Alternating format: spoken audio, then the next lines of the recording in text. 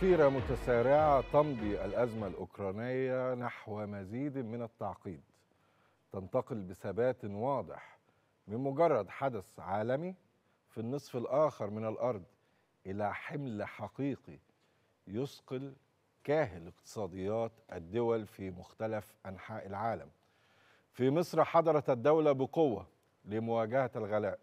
نعم نواجه موجة غلاء بينما سيواجه غيرنا الجوع بحسب تحذيرات الأمم المتحدة من أزمة غذاء عالمية.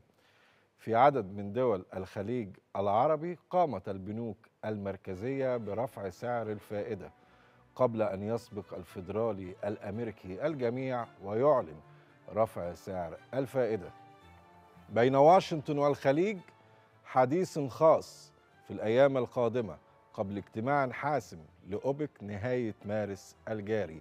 أما منطقة اليورو فهي تعاني من معدل تضخم غير مسبوق وفي خضم كل هذا استمرت حالة التلسين السياسي بين أقطاب النظام العالمي واستمرت دبلوماسية ال treadmill أو دبلوماسية الجري في المكان بلا نتائج ملموسة. أهلا بكم كلام في السياسة.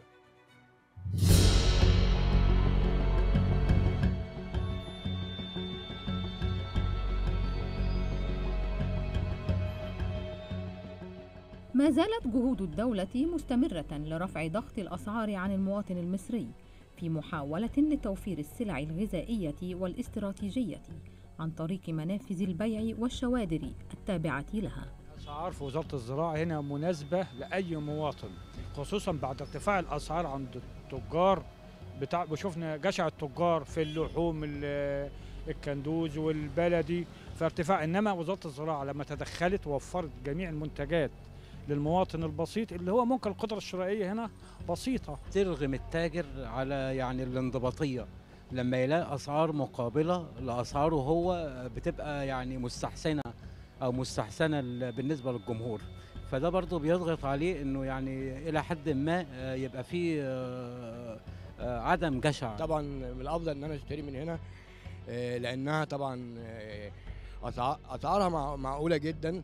غير طبعا الأسعار اللي بره يعني حقيقي يعني بصراحة بنلاحظ فرق في في الأسعار يعني. بالنسبة هنا للمكسرات أقل كتير جدا أقل نسبيا حوالي 100 جنيه في كل كيلو سواء العين جمل سواء الفستق سواء اللوز أو البندق كله فيه أقل كتير. أسعار معقولة جدا تقل عن بره على الأقل ب 20 إلى 25% يعني كيلو السكر هنا ما أنا شايفه ب 12 جنيه بره السعر بيتراوح بين 14 و 15 وده ينطبق على كل باقي المنتجات أنا شايفها. السلع متوفرة في كل حتة وحتى العربيات اللي بتنزل من الجيش برضو أسعارها حلوة.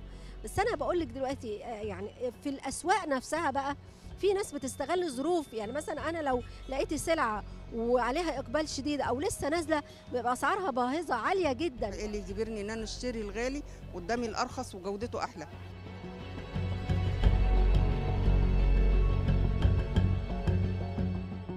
سوق العبور من الأسواق الرئيسية التي تضخ الخضروات والفاكهة للمواطنين عن طريق تجار التجزئة وهو مؤشر لانضباط الأسعار داخل الأسواق. العالم كله بيمر مثلا بتغيرات سياسية موجة تضخم عالمية. كل ده بيأثر طبعا سلبيا لأن إحنا جزء لا يتجزأ من العالم. ولكن إحنا بنقول كمصر المنتجات الزراعية تحديدا الخضار والفاكهة ما عندناش أي أزمة فيها بل بالعكس إحنا عندنا وفرة في الإنتاج عندنا زيادة معروض من هذا الإنتاج.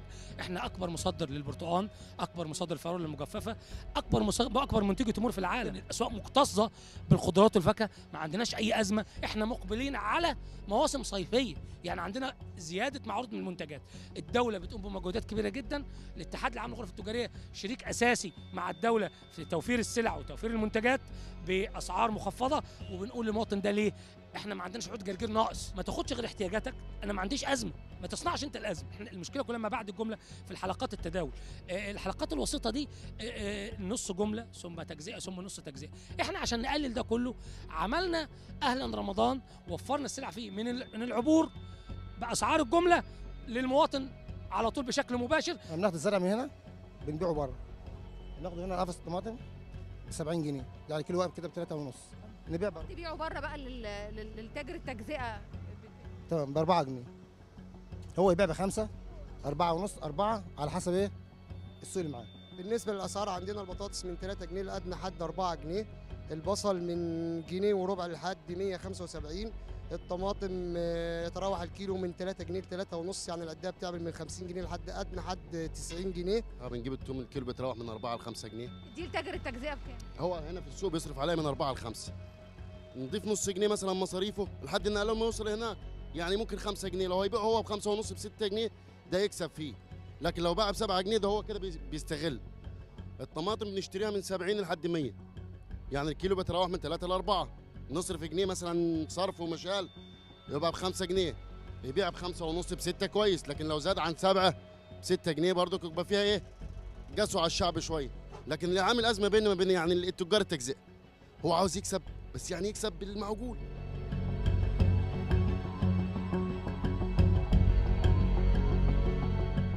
إذا كل ما نحتاجه هو ضمير التاجر ووعي المواطن المصري حتى نعبر هذه الأزمة ونصل لبر الأمان.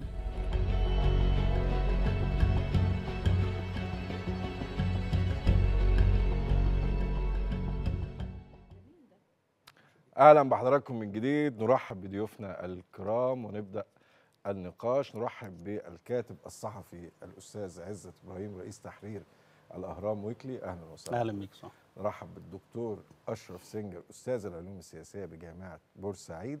خبير السياسات الأمنية لاكسترا، إكسترا نيوز. أهلا وسهلا بحضرتك. أهلا وسهلا معك نرحب بالدكتور نورهان الشيخ أستاذ العلوم السياسية بجامعة القاهرة. أهلا وسهلا. أهلا وسهلا بحضرتك نرحب بالأستاذ محمد شادي الخبير الاقتصادي والباحث في مركز المصري للفكر والدراسات السياسية والاستراتيجية. أهلا وسهلا بحضرتك.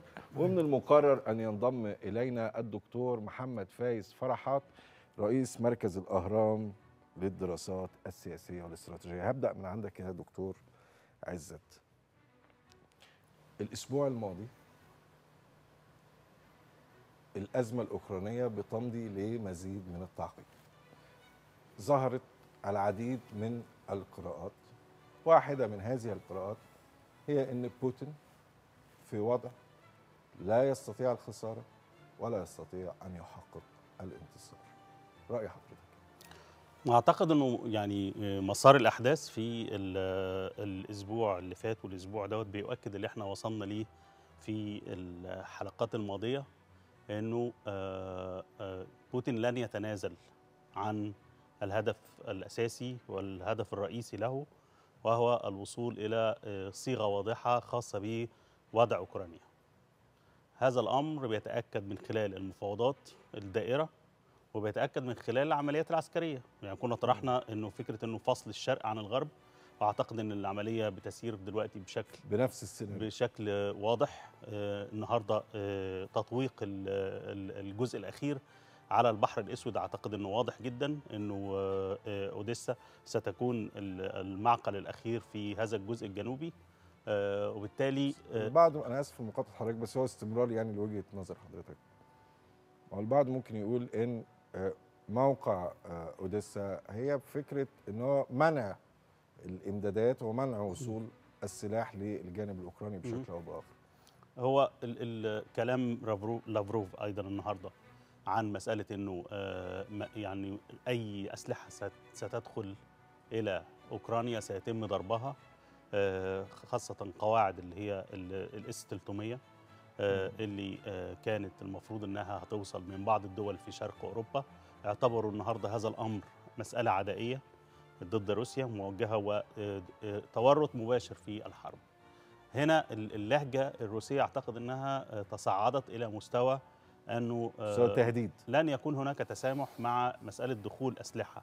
آه، لإحداث توازن خاصة في المضادات الجوية الدفاع الجوي آه، ال- ال- المشهد كده بيقول إنه إن إحنا قصاد الآلة العسكرية ال- الروسية مستمرة في آه، الأهداف بتاعتها. توتر في ال- الجبهات الغربية آه، على مستوى أوروبا والولايات المتحدة وخصوصا في أوروبا المسألة بتزيد تصاعد الأزمة صحيح، الاقتصادية. صحيح. آه، هناك آه، اتنقلنا من مرحلة تشديد العقوبات لمرحلة محاولة استدراج الصين أنها تصبح طرف في العقوبات أو على الأقل فهم ماذا تفكر كيف تفكر الصين في الأمر.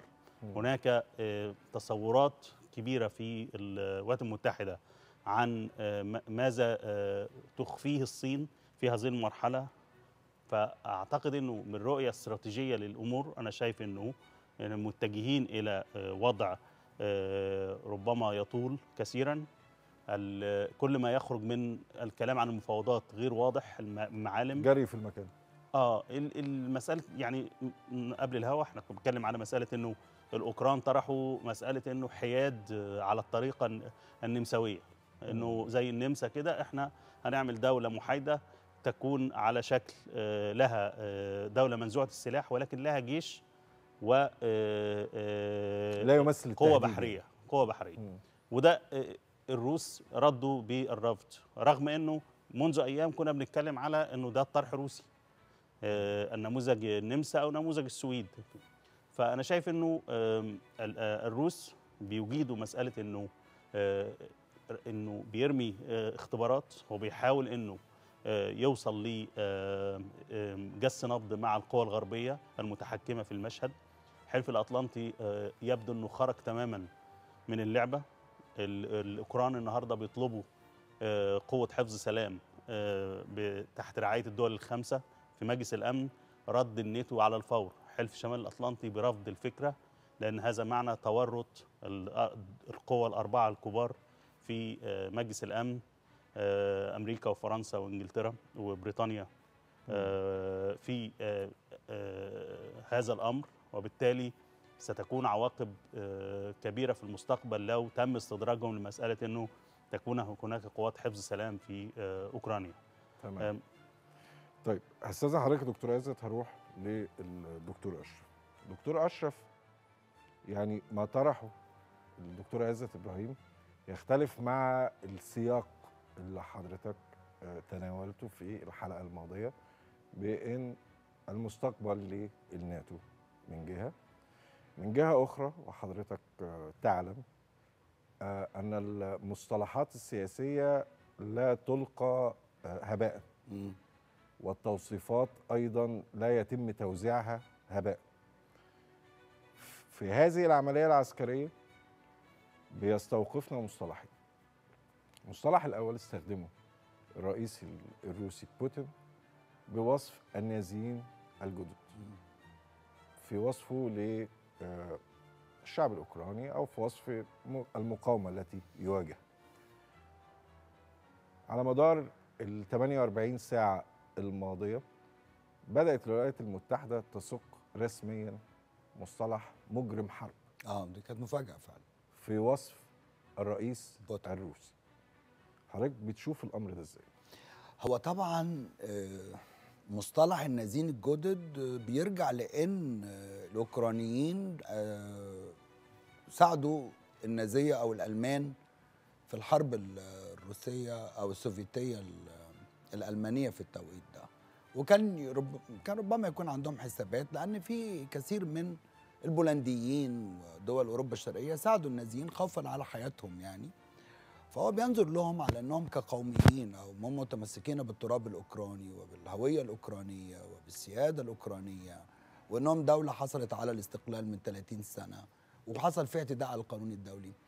طبعا الرئيس بوتين يعني في استخدامه لهذا المصطلح وفي استخدام المصطلحات كثيرة تدل على عدم يعني استمرار العملية كما هي مخطط لها بتدفعه إلى آه، يعني أخذ آه، يعني مواقف قد تكون حادة وده بان جدا في الأسبوع اللي فات إن العمليات العسكرية بدأت تبقى مرعبة قوي ومخيفة وده اللي آه، دعا بايدن إن هو يسميه آه، مجرم حرب وده أمر يعني بصراحة كان مفاجئ ليا لأنه في هذا السياق الولايات المتحده بس حتى هذه اللحظة يعني من المشاهد اللي بيتم تداولها اعلاميا آه بنرى مشاهد معارك عسكرية آه. بنرى استهداف لمنشآت بنرى حتى آه في الأمور اللي تم حواليها جدل مقر المستشفى أو ما إلى ذلك. لكننا لم نرى أو نرصد مشاهد لمذابح لفظ مجرم حرب ده لفظ له. ثقل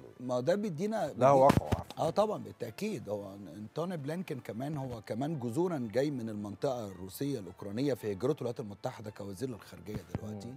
ففي آه، يعني آه، لغة السياسة أو المصطلحات كما حضرتك أشرت هي بتعبر عن توجه إن إحنا النهارده بنحدد لائحة آه، اتهامات بالظبط. هتبدأ يعني هم الغرب عندهم حاجة إن هم بيجهزوا حاجات قانونية الأول قبل ما يخشوا على الفعل السياسي. يعني مثلا قبل ما الولايات المتحدة تحديدا. تحديدا. يعني حضرتك لو تتذكر في بدايات الحلقات اللي تناولنا فيها ال- المشهد ما بين روسيا وأوكرانيا حتى قبل العملية العسكرية اتكلمنا في فكرة إن طرح التوقيت ما بيبقاش صدفة في الفكر السياسي الأمريكي. تمام. عندما تم إعلان إن في هناك نوايا روسية للقيام بعمل عسكري في التوقيت كذا. yes yes تمام. الآن استخدام مثل هذا المصطلح أيضا لا يتم القاؤه صدفة. لا مش صدفة. هو هم عندهم يعني أنا أنا مثلا في تصوري يعني شايف إن الأمور كل يوم يتأخر بوتين في عدم إنهاء العملية هو خطر على الجيش الروسي أو على العملية هل سيستطيع إنهاء العملية؟ نعم. هل سيستطيع إنهاء لا العملية؟ خالص خالص. يعني طبعا أنا أنا اتكلمت على كلمة فخ والناس قالت wow الكلام ده كان من شهر. يعني إحنا قلنا إن ده فخ. كلام بوتين آه سوري بايدن امبارح بيدل على إنهم والنهاردة مندوبه بريطانيا كمان في الأمم المتحدة بيدل على إن الأوروبيين آه، وأمريكا واخدين الموضوع على إنه استنزاف هنطول في العملية دي. الموضوع ده مش هينتهي. طب ما هو بالمقابل خلاص قبل ما أروح للدكتورة نورهان لو الأمر كذلك والأمر معلن ما الذي يدعو الرئيس الروسي للاستمرار في عملية استنزاف إن لم يكن ممسكا بوتيرة التصعيد حتى هذه اللحظة؟ هو ما هو معطل يا فندم. النهارده دخلنا في بداية الأسبوع الرابع ولم يصل إلى آه، أخذ مدينة كبيرة من أوكرانيا.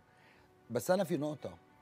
هل هو في نهاية العملية بعد شهر اتنين تلاتة وأنا حاطط تصور أكتر من كده؟ هياخد أوكرانيا؟ هياخدها. أنا ما- ما بنقولش إن هو مش هياخدها. بس هل هياخدها بحكومة وشعب متفق مع السياسة الروسية؟ شكل المقاومة فكرة تغيير النظام السياسي في أوكرانيا حضرتك شايفها هتفضل مستعصية عليه حتى لو سيطر على الأرض؟ حتى لو سيطر. وده هتفضل دايما الاستنزاف مستمر لأن الخناقة دي برضو مش أوكرانيا مش روسيا هي خناقة المعلم الكبير اللي هو الصين. يعني النهارده أمريكا خلينا لحد ما ينضم لنا الدكتور محمد فايز فرحات. طيب. علشان إيه؟ يبقى الكلام برضو مردود عليه. خلينا نروح لدكتور نورهان الشيخ. رأي حضرتك في الكلام. اولا ما فيش ما أعتقدش إن في حد يجرؤ يحاكم بوتين. يعني هذا أمر بعيد المنال. ليه؟ آه، لأنه آه، يعني هل حكم جورج بوش لما عمل جرائم الحرب الم- الموثقة آه، في العراق؟ لا.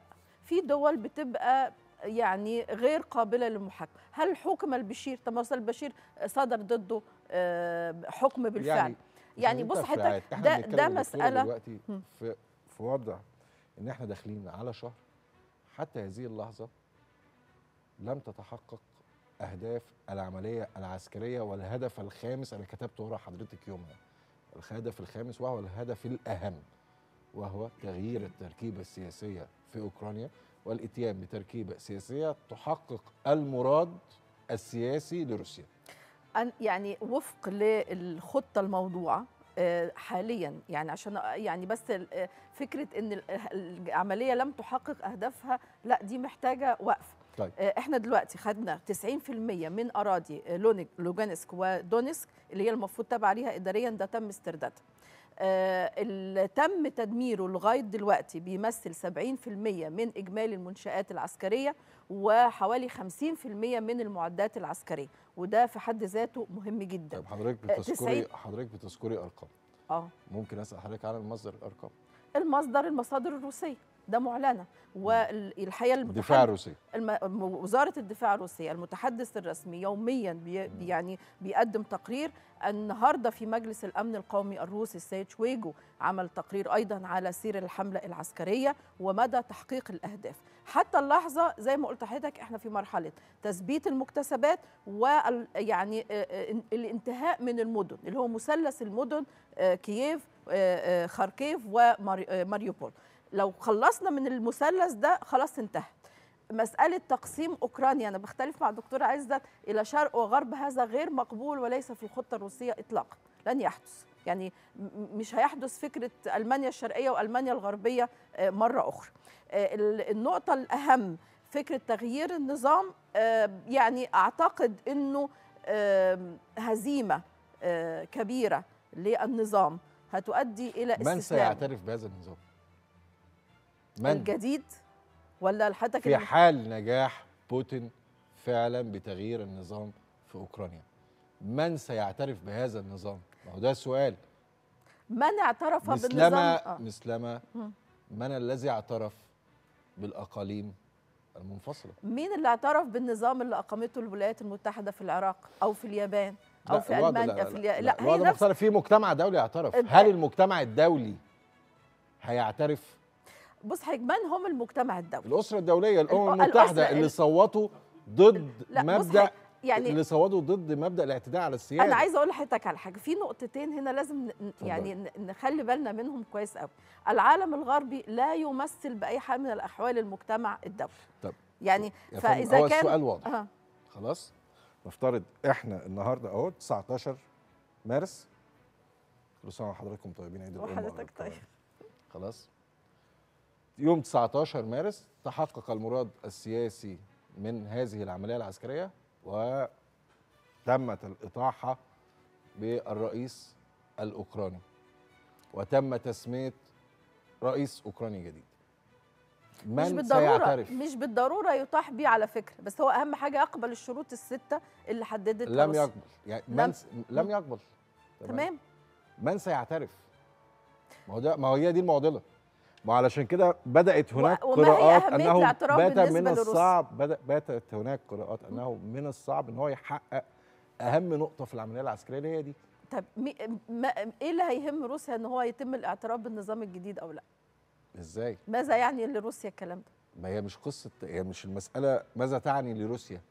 هي قصة إن دي دولة هذه الدولة اسمها أوكرانيا مين هيعترف بهذا النظام ما أنا بقول حضرتك إيه أهمية يعني حتى الآن؟ حتى الآن حتى الآن أقرب أصدقاء روسيا لم يعترفوا بالآقاليم المنفصلة كجمهوريات مستقلة. ما هو ده اللي بقول لحضرتك هو في في وهل ده غير من وضعية هذه الأقاليم أو من حرص روسيا على التعامل مع هذه الأقليم وإعطائها استقلالية وإعطائها الأرض اللي هي معنى كده يا حضرتك إن الحرب مستمرة. الحرب آه، عايزة أقول لحضرتك على حاجة.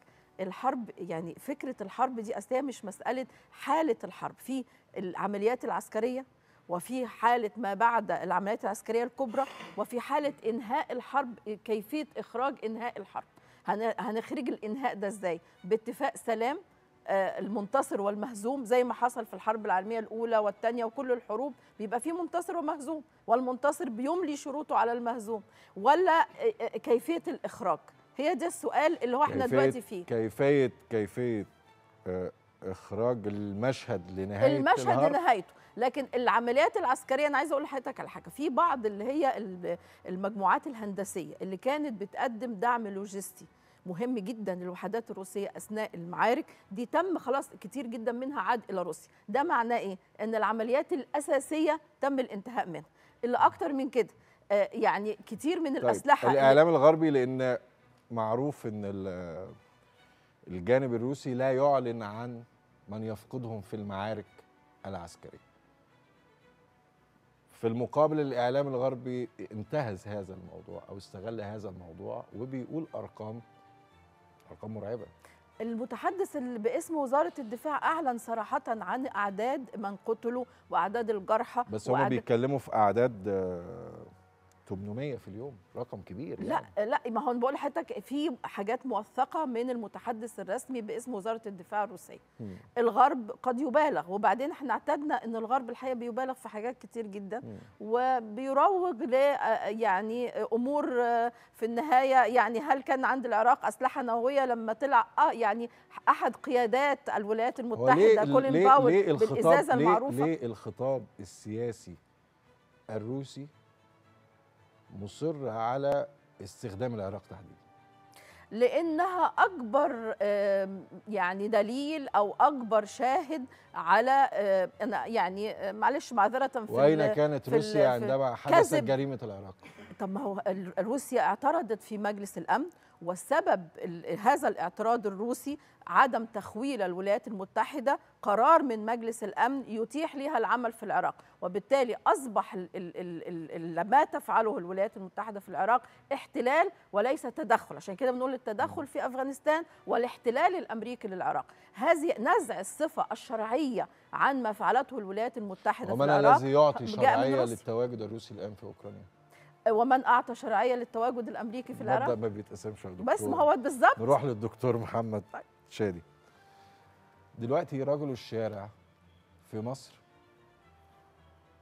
بقى بيتابع الحرب وبيتابع مجريات الحرب لأن بقى خلاص في تعاملاته اليومية بدأ يستشعر أن موجة غلاء قد حدثت في الأسواق المصرية بسبب هذا الفعل الدولي. حضرتك شايف اولا التحركات اللي قامت بيها الدولة في الأيام ال- القليلة الماضية وشايفين الجدية آه، في هذا الأمر. إزاي؟ وشايف الأزمة العالمية ووطئتها والقادم فيها إيه؟ آه طيب أنا بس قبل ما أجاوب على سؤال حضرتك عاوز بس أقول نتكلم اقتصاد مش نقطتين. لا لا لا. نقطتين. اقتصاد بحت. آه. اولا في موضوع آه، آه، مجرم حرب آه، من اشد من أشد المفارقات سياسه لا لا لا لا لا أصل لو أنا هقول حضرتك لحضرتك أنا هقول اتكلمت لحضرتك سياسة اقتصاد. هيتكلموا هم هقول لحضرتك اقتصاد، اقتصاد هقول؟ لا لا صدقني حضرتك أنا ملتزم بالاقتصاد التزام طيب، تام. أنا اتفضل، يعني يعني من أشد المفارقات في الموضوع ده إن مدعي عام المحكمة الجنائية الدولية الولايات المتحدة الأمريكية فرض عليه عقوبات لأنه بيبحث عقوبات اقتصادية حقيقي بيبحث في آه، جرائم ارتكبها الجنود الأمريكان والقادة الأمريكان في أفغانستان والعراق. دي حاجة بس عشان حضرتك تعرف كده إيه دي, دي كده. تاني حاجة في موضوع ال آه، حضرتك ضيعت كنت برضه كان عندي تعليق تاني. ايا كان. لا آه ما هو لا لا غير مجرم حرب كان فيه. نتكلم قلت لك نتكلم اقتصاد بلاش سياسة. نروح نتكلم قلت لك نتكلم اقتصاد. نروح نتكلم اقتصاد. طيب بالنسبة للعمليات اللي بتحصل في آه، أوكرانيا يعني وتأثيرها على الاقتصاد العالمي حضرتك هتلاقي إن إحنا إحنا معانا شوية سلايدات آه، جاهزين يعني لو نستعرضهم. آه، حضرتك هتلاقي إن مش بس مصر اللي, اللي, اللي عندها يعني حاسه بالأزمة أو كده لأ ده العالم كله إحنا عندنا العالمي. إن روسيا آه، حوالي قرب مستوى التضخم من 13% الولايات المتحدة قرب من 8% آه، بريطانيا آه، قرب من 7.5% آه، تركيا ارتفع بنسبة 54% أو حوالي 55% 54.4% وده أعلى مستوى تضخم من 20 سنة آه، الصين 9 من 100% لو أنا قلت ده صحيح. غلط ده, صحيح صحيح صحيح. كنت لسه. آه الاتحاد الأوروبي بشكل عام آه 5.1 من 10% ودي أعلى نسبة منذ إقرار اليورو كعملة آه موحدة. أسبانيا اقترب من 8% آه البرازيل كسر ال 10% ومقرب من 11% ال- آه، السودان الشقيق 258 في المية. حضرتك قلت معلومة رائعة جدا دلوقتي يعني عدد كبير جدا من المحللين مش واخدين بالهم منها إن إحنا عندنا عالم منقسم. منقسم إزاي؟ عندنا كتلة غربية أو عالم غربي شاعر بالتضخم وعالم أو جزء شرقي شاعر بالركود. وإحنا بقى في النص ما بينهم يعني يعني الأزمة بتضغط علينا أكتر.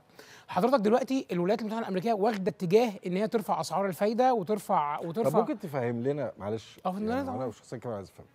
ليه لما الولايات المتحدة ترفع سعر الفايدة؟ الاقتصاد. العالمي يتأثر. طيب اولا هو يعني إيه سعر يعني الفايدة؟ إيه بالظبط؟ يعني إيه سعر الفايدة؟ سعر الفايده ليه أصلا هنرفع سعر الفايدة؟ يعني إحنا عاوزين في فلوس عند الناس في السوق فإحنا بنقول لهم يا جماعة تعالوا حطوا فلوسكم عندنا علشان ادخارها أجدى من إنفاقها. كل ما أنت ادخرت عندي هديك على الادخار فلوس أكتر. فبالتالي الادخار دلوقتي اجدى من انك تنفق في السوق. طب مش عاوز ينفق ليه؟ لأنه كل ما بينفق كل ما الطلب على السلع بيزيد وبالتالي التضخم بيزيد. كل ما في فلوس كتيرة في السوق على سلع قليلة كل ما التضخم بيزيد وبالتالي قيمة الفلوس بتقل. فهو عاوز يعمل إيه؟ عاوز يجمع الفلوس اللي في السوق يحطها في البنك بحيث إن هو يقلل المعروض في السوق يقلل الموجود في السوق قدام السلع. فبالتالي السلع ثمنها ينزل. واخد بالك إزاي؟ دي أول حاجة. ليه بقى لما الولايات المتحدة الأمريكية بترفع الأسعار العالم قصدي أسعار الفايدة. يعني العالم كله بيتأثر لأنه بيحصل تدفقات عكسية من عند العالم للولايات المتحدة الأمريكية. دلوقتي أنا أنا بعرض أدوات الدين بتاعتي في السوق. بقول لهم يا جماعة تعالوا استثمروا في أدوات الدين بتاعتي. أو تعالوا استثمروا عندي في البورصة. أو تعالوا ابنوا عندي مصانع. الناس بتيجي من الولايات المتحدة الأمريكية ومن العالم الغربي في العموم يعني يدخلوا الأسواق النامية علشان بيحققوا فيها والدولار يتحرك من مختلف دول العالم ناحية البنوك الأمريكية. آه بيحس ليه بقى؟ لأنه بقى في مخاطرة أقل بتكلم وفايدة صح أعلى. ولا؟ آه فندم صحيح ما أنا حضرتك أنا بقول لحضرتك إيه اللي حاصل. دلوقتي الناس بتخرج من في العادي الناس بتخرج من الأسواق ال- المتقدمة علشان تحقق أرباح في الأسواق النامية لأنه عندهم معدلات نمو أكبر وهكذا. لما حضرتك بقى بترفع سعر الفايدة إيه اللي بيحصل؟ الناس دي بتخرج من الأسواق النامية ترجع للولايات المتحدة الأمريكية علشان هم عرضوا سعر فايده أعلى ومخاطرة أقل. ليه مخاطرة أقل؟ لأنه دي الدولة اللي بتطلع الدولار. الدولة اللي عندها كميات لا محدودة من الدولار. فبالتالي أي فلوس هديها للولايات لحكومة الولايات المتحدة الأمريكية أنا ضامن بنسبة مليون في المية إن أنا هاخدها. ومع كده بقى إن أنا عندي سعر فايدة أعلى. واللي مشدد الأزمة المرة دي كمان على العالم عشان كده العملات الوطنية بتتحرك وبتتأثر. بتنخفض كمان. ليه بقى؟ بتنخفض قدام الدولار. لأنه الدولار الطلب على الدولار جوه الأسواق النامية بيعلى جداً. وبالتالي الناس بتحول عملاتها الوطنية إلى دولار عشان تخرج منها تخرج من الأسواق النامية دي. فإيه اللي بيحصل؟ اللي بيحصل إنه العملة النامية سعرها بيقل قدام الدولار الدولار بيعلى والناس بتاخد الفلوس دي وتخرج الدولارات دي بتخرج بيها من الأسواق النامية تروح بيها لأمريكا وبالتالي المخزونات الدولارية اللي عند الدول النامية كمان بتقل وهي أصلا بتستورد احتياجاتها من الخارج. فيحصل عند الدول النامية غير إن هي. عندها التزامات دولارية تانية. صحيح. اللي مشدد الأزمة بقى إيه كمان؟ إن إن المرة دي رئيس الفدرالي الأمريكي بيقول بكل وضوح مش هتعمل حاجة في التضخم. لا لا مش كده. لا يا فندم ده بيقول بكل وضوح إيه؟ إن إحنا هنعلي ست مرات. يعني إحنا ال- السنة اللي جاية دي إحنا معلين فيها ست مرات. حضراتكم اخرجوا بسرعة وتعالوا لنا. واخد بال حضرتك إزاي؟ يعني في حتى فجاجة أو يعني أنا آسف على كلمة فجاجة. في حتى لا دي فجاجة كلمة مهذبة. آه أنا بقول لحضرتك في حتى يعني نوع من أنواع عدم المسؤولية اطلاقا في إدارة ال- إدارة ال- إدارة ال- الاقتصاد العالمي. مش بس كده حضرتك دول دول الأمريكان طب الصينيين عندهم العكس. إيه، إحنا بقى بناخد من الأمريكان التدفقات الدولارية وبناخد من عندهم الاستثمار. الصينيين بقى بناخد منهم السلع بناخد منهم ال ال الاستيراد بتاعنا. عندهم ركود وبالتالي عاوز يعمل إيه؟ بيحطوا فلوس في السوق فلما يحطوا فلوس السلع تغلى وأنا اشتريها غالية. فاستثمارات باخدها غالية ديون باخدها غالية وسلع باخدها غالية. الدول دي لا ده وضع العالم النامي دلوقتي بقول لحضرتك عشان كده بقول لحضرتك إنه في عدم مسؤولية في إدارة الاقتصاد طب العالمي. لو أنا برضو لو أنا يعني الفهم مش واصل لي سليم صحح لي. اتفضل. معنى كلام حضرتك إن أول حاجة نقفل باب استيراد لا هو إحنا ما نقدرش نقفل باب الاستيراد لا يعني مش نقفله ونغلقه يعني. نحاول نقلل اعتمادنا على الخارج بشكل بشكل عام سواء ما هو إحنا إحنا فندم عندنا- الأولويات يعني. آه لا إحنا إحنا مش دلوقتي بقى في المستقبل يعني يعني في ليه بقى لأنه أنا عندي عندي مشكلتين. أنا عندي فجوة إسمها الفجوة الاستثمارية. أنا بدخر أقل مما أستثمر في مصر. طول عمرنا عندنا حاجة اسمها فجوة الادخار. المدخرات بتاعت المصريين غير كافية عشان تحدث عمليه تنميه وبالتالي بضطر أجيب مدخرات من بره اللي هو إيه؟ بستورد نقود. حلو الكلام. وعندي فجوة استهلاك أكبر من الإنتاج فبضطر أستورد سلع فأنا بستورد نقود وبستورد سلع والاثنين دلوقتي زي ما بقول لحضرتك العادي خالص في الدنيا إنه يبقى العالم ده كله منفتح على بعضه. في تضخم في تضخم في العالم. في ركود في ركود في العالم. فتخيل بقى حضرتك المكان اللي إحنا بنجيب منه. أنا بتكلم على العالم مش بتكلم على مصر. العالم اللي ال- الناس اللي إحنا بنجيب منها النقود عندهم آه عندهم تضخم فبيحاولوا يقللوا الفلوس اللي خارجة. والناس اللي بنجيب منها السلع عندهم ركود فبيحاول يخرج السلع بتاعته فبيديله فلوس أكتر عشان يخرجها. فالسعر هناك بيرتفع وسعر النقود هناك بينخفض. فأنا لا عارف أجيب أجيب سلع ولا عارف أجيب نقود أشتري بيها السلع. طب ده التشخيص؟ ده التشخيص؟ ده ده ده التشخيص في الجولة الثانية من الحوار. عايز أسمع بداية روشته ماشي اتفقنا؟ ماشي خلونا نطلع فاصل وبعد الفاصل نستكمل النقاش.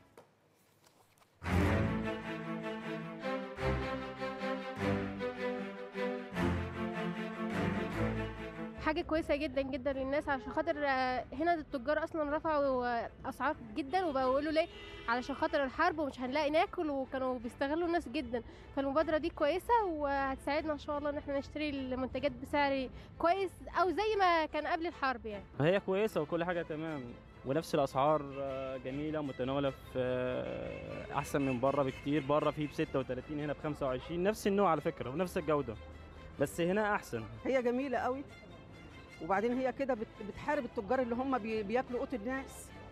وفي نفس الوقت أنا نفسي برضو إن الحكومة تدعم الحاجات دي وتكتر منها. طلب الدولة لأن برضو إن يعني الحملة التموينية تفضل برضو إيه تنزل برضو تتابع التجار والكلام ده لأن التجار برضو بيزودوا على طول في الأسعار. الأسعار في متناول الجميع أسعار كويسة قوي قوي قوي وأسعار إحنا بنسمع على ال social media بقالنا أسبوع و10 أيام من الأسعار والأسعار والأسعار لا إحنا لقينا الأسعار زي ما كانت هي هيها الطماطم ب 5 جنيه البصل 3 ب 10 البطاطس بخمسة. حاجتهم جميلة والأسعار حلوة قوي وكويسة و... والسوق حلو خالص وربنا يدومها علينا يا رب. حاجات رخيصة كلها بالصلاة على النبي عليها هنا. خضار والبقالة والجزارة وكل حاجة يا فندم. هي جهود الدولة دلوقتي يعني بصراحة بتعمل اللي عليها. حتى يعني هنا الجمعية دي إحنا مثلا باخد احتياجاتي كل شهر منها. والله الجامعات الاستهلاكية أرخص من بره بكتير وحاجاتها أنضف من بره ومفيش استغلال. بيبقى السعر موحد كله عنده عندهم هنا الحاجة مكتوب عليها مثلا سعر هي بتاخديها بس نفس سعرها الاسعار بره بتبقى الناس التجار آه، بيبقوا عاملين السعر جامد وكده ومفيش حاجة هم استوردوها أساسا. مفيش حاجة استوردوها هم مغلين على أساس إيه مش عارف. ما هنا الأسعار بتاع الجامعات المثاليه حلوة جدا عامة يعني والشوادر. سمعت إن الأسعار فيها خصومات جامدة يعني جيت دلوقتي فعلا لقيت نفس ال- الكلام اللي أنا بسمعه الأسعار فعلا نازلة والحاجات نظيفة. الأسعار اللي هنا رخيصة عن الأسعار اللي بره طبعا الأسعار اللي بره نار كل حاجة والحاجة غليت بره خالص. الأسعار بره كل واحد بيحط اللي على مزاجه. يعني نفس الشيء مثلا بتلاقيه عند حد بسعر وبتلاقيه عند اللي جنبه بسعر تاني خالص. وما تعرفيش الحقيقة بتاعتهم فين. لكن انت هنا حضرتك بتيجي تشتري الحاجة مصدقة. يعني السعر بتاع الوزارة محطوط عليه. يعني مبادرة كويسة برضو اللي هي بت بترخص الحاجة شوية بنقدر وبعدين إحنا داخلين على رمضان. والدنيا كده فأنت بتقدر برضو إن أنت تظبط دنيتك تيجي تجيب حاجتك حاجتك موجودة على طول الاصناف كلها موجودة ما شاء الله وأسعارها زي ما هي ما اتغيرتش يعني ما فيش حاجة غالية. مبادرة ممتازة في حد ذاتها. معقولة في الأسعار اللي موجودة دلوقتي حاليا؟ بنبص طبعا الأسعار اللي بره أو الأسعار اللي بره عامة عامة مصر فكل يوم في الزيادة في الزيادة مبادرة ممتازة وفي وقت ممتاز. آه، معرض بني سويف م- أهل رمضان 100 100 وأسعار ممتازة بصراحة آه، ورخيصة جدا عن بره. أنا دخلت المعرض هنا الحمد لله لقيت كل حاجة موجودة في المعرض من الإبرة مفيش حاجة ناقصة والأسعار في متناول الجميع. في حاجات حلوة في متناول الجميع البيض ب 52 واللحمة ب 120 والرز ب 8 جنيه بس.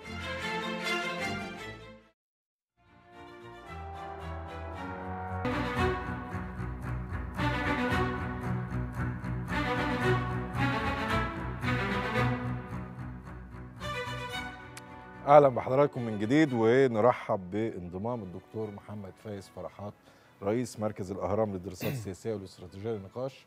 أهلا وسهلا أهلا وسهلا الحمد لله على. السلامة أهلا. وسهلا هستاذن حضراتكم هبدأ من عند الدكتور فايز فرحات.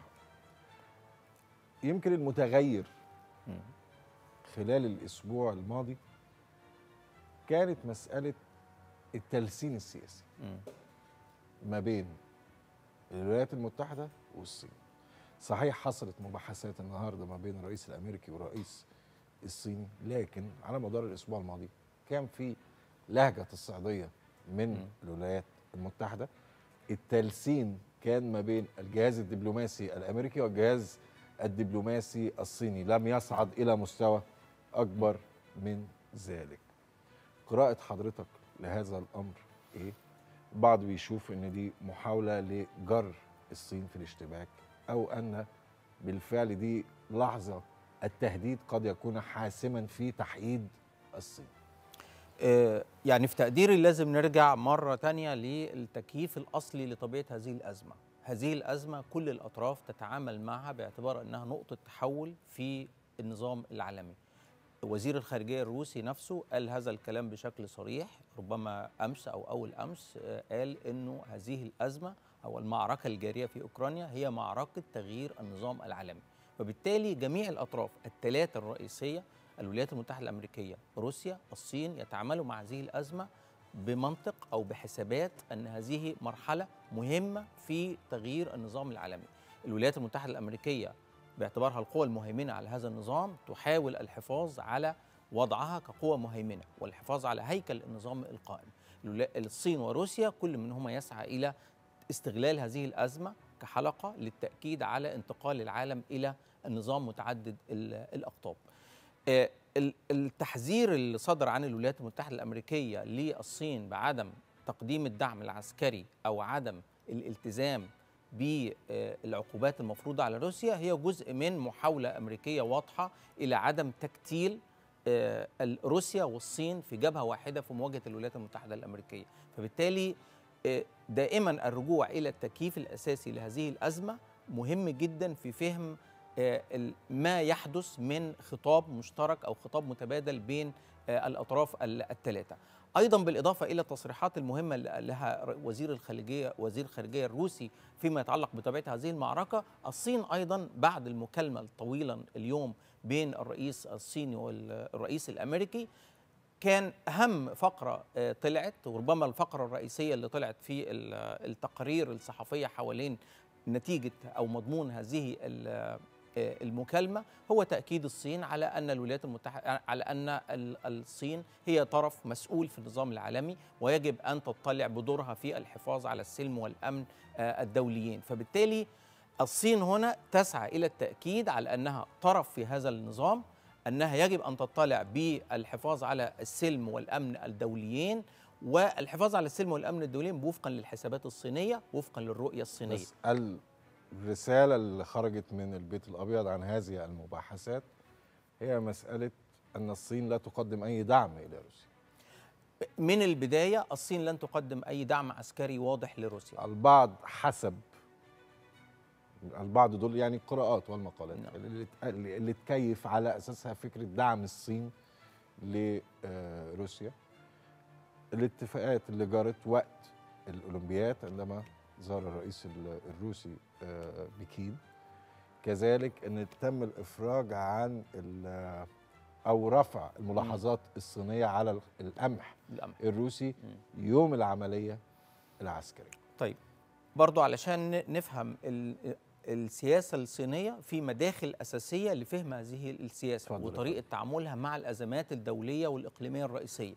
أولا الصين آه، حسب الثقافة الصينية الثقافة الكونفوشيوسية نفسها أن أننا يمكن أن نتفق على عدو ولكن كل طرف يذهب إلى مواجهة هذا العدو بطريقته. وبالتالي الصين هنا لا تتعامل بمنطق الأحلاف لا تتعامل بمنطق أنها يمكن أن تدخل حرب أو معركة لطرف آخر لحسابه. فبالتالي هذه معادلة أو فكرة أساسية ده فهم حاكمة ده فهم دقيق. في آه. الثقافة الصينية. لها أساس. هي جزء من السياسة الصينية لكن لها أساس أيضا في الثقافة الكونفوشيوسية. أننا نتفق على العدو لكن كل واحد يذهب إلى مواجهة هذا العدو بطريقته. وبالتالي المبالغة في الإعلان آه، ال- ال- آه، 4 فبراير اللي بين الرئيس ال- الصيني والرئيس حضرتك بوتين شايف إن هو حجة؟ ليس ليس لا حجه ولا مبالغة؟ لا أنا في تقديري إنه آه، ليس مبالغة وليس حجة ولكن يجب أن نضعه في إطاره في طريقة آه، تعامل الصين مع الأزمات الدولية وطريقة تعامل الصين مع الشركاء الاستراتيجيين أيضا. الصين آه، روسيا ليست الشريك بس الاستراتيجي حجم الوحيد. حجم التبادل التجاري بين الصين والولايات المتحدة يفوق بأك-. بمراحل حجم التبادل التجاري صحيح مع روسيا صحيح لكن هذا على المستوى الاقتصادي وده اللي خلى يمكن شخصيات دبلوماسية أمريكية تقول إن أنتوا مصالحكم مع أمريكا مش مع روسيا آه، على المستوى الاقتصادي الصين تتعامل مع النظام الاقتصادي العالمي كله كوحدة واحدة مم. هو تتعامل بمنطق ربط كل الأقاليم وكل معظم اقتصادات العالم بالاقتصاد الصيني. هذه فلسفة وأنا الصينيه لكن بفكر على المستوى بفكر برضو بفكر مع حضرتك برضو بصوت آه، عالي. في المقابل وضع الجغرافيا السياسية ما بين روسيا والصين وحدود برية حوالي 4200 كيلو لو أنا غلطان حضرتك صحح لي. يعني إما أن يكون الدولتين في حالة اتفاق أو في حالة عداء وهم في حالة اتفاق. يعني لكن ليسوا في حالة تحالف أمني. هذا دي أحد الثوابت الأساسية في الصين زي الثابت الأول اللي أشرت ليه لحضرتك وهي مسألة اننا لا يجب أن يعني يم- يمكن الاتفاق على عدو لكن لا يمكن أو لا يجب بالضرورة الاتفاق على أدوات مواجهة العدو. لكن بالإضافة إلى هذا الصين أيضا ترفض سياسة الأحلاف. سياسة تمام. الأحلاف الأمنية. يمكن أن نصل إلى مستوى الشريك الاستراتيجي لكن حتى الآن حتى الآن ربما الوضع يت- ربما آه، يحدث تغير في السياسة الصينية لكن هي ترفض حتى الآن السياسة الصينية سياسة الأحلاف. وهذا راجع إلى تكييفها لأنه مازال حتى الآن هناك بعض المبادئ الأساسية تخدم المصالح الصينية. على سبيل المثال مبدأ عدم التدخل في الشؤون الداخلية رغم إنه مبدأ أصيل ورصين في العلاقات الدولية والولايات المتحدة الأمريكية أكثر دولة مع القوى الأوروبية يعني تخطت هذا المبدأ وتجاوزته تحت دعاوى كثيرة نشر الديمقراطية واحترام حقوق الإنسان والحرب على الإرهاب إلى آخره. لكن الصين ما زالت تتمسك بهذا المبدأ. وهذا خدم السياسة الصينية طوال العقود السابقة. وسيظل يخدم السياسة الصينية لفترة. ربما يتغير ولكن سيظل هذا المبدأ مستقر لفترة طويلة. بالإضافة لده هي رفض فكرة الأحلاف لأنه هذا ال- ال- المبدأ أيضا يخدم المصالح الصينية في منطقة الاندو باسيفيك اللي هي المنطقة أو المسرح الرئيسي لل- للصين الآن. طيب خلينا استاذن حضرتك أروح للدكتور عزت إبراهيم. طيب دكتور عزت في من ضمن الملاحظات حالة في منتهى في منتهى الخطورة وهي شرعنه التنظيمات المسلحة بواسطة الدول. استخدام المرتزقة سواء من هذا الفريق أو من هذا الفريق واعطائه شرعية من قبل الدول. استخدام رسمي استخدام على العلن. شايف خطورة هذا الأمر إيه؟ وخطورة تفاقم هذا الأمر بوصول أسلحة متطورة لمثل هذه التنظيمات. إحنا عندنا طبعا يعني في تغير كبير في عملية النظر إلى المقاتلين الفيلق ال- الدولي اللي طلبه الرئيس الأوكراني واللي آه، يقال إنه وصل تعداده لحوالي 16000 وده اللي خلى يمكن القوات الروسية آه، قصفت أحد المراكز على الحدود مع بولندا. أنا ما بحبش أسميهم مقاتلين على فكرة. ما هم لا هو هم التعريف اللي هو استخدموه مرتزقة. في الجانب الأوكراني ال ال الوضع مختلف لأن هو. اداله تسمية دولية كفيلق دولي. آه، حتى يعني نوع من أنواع المرتزقة ال- الجيدين أو الطيبين يعني يعني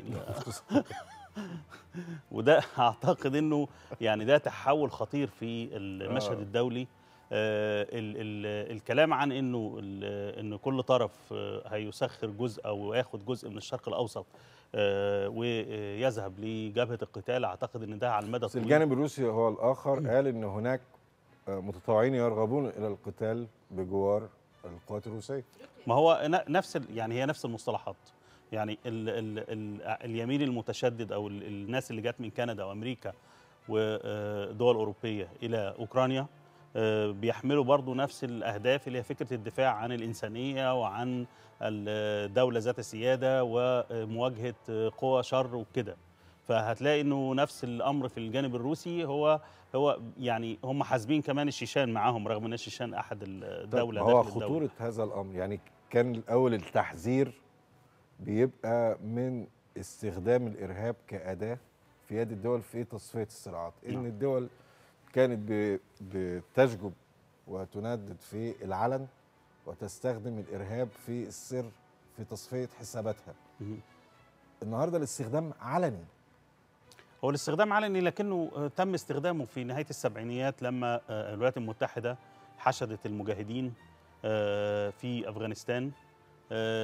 ولأجل إهداف إسقاط الإمبراطورية السوفيتية أو إخراج ال- السوفيت ما هي دي عمليه أفغانستان. عملية الع- العائدون من أفغانستان.